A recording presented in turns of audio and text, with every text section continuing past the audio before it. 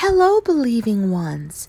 This is Lisa Gordon from Gordon Ministries and Jesus City Church, and I'd like to exhort you today on a message I've entitled Believe with Your Heart. God's Word can still do everything today that Jesus did when He walked the earth. God sent His Word to heal, deliver, and provide for us. However, we must believe with our hearts that He will do what His Word says. To believe with your heart means to believe with your spirit, which is the unseen core of a person. Believing with your heart is believing apart from what your physical senses tell you.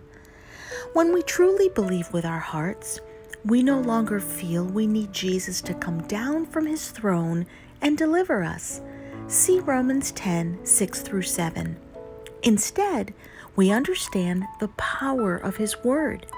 Jesus sent His Word to heal and deliver us.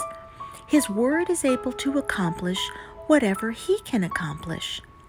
Through His Word, we obtain our inheritance, deliverance, healing, provision, etc. Believing with your heart or your spirit means we believe what God's Word says, despite our current circumstances.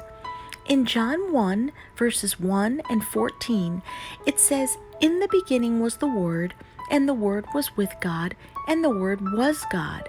The Word was made flesh and dwelt among us. Jesus is the Word in flesh form. Therefore, Jesus and the Word are the same. In this context, Jesus represents how the Word, which is spiritual, can manifest in the physical realm.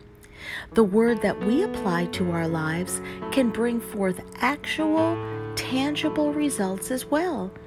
In Mark 11:23, Jesus declares, "For assuredly I say to you, whosoever says to this mountain, be removed and be cast into the sea, and does not doubt in his heart, but believes that those things he says will be done, he will have whatever he says.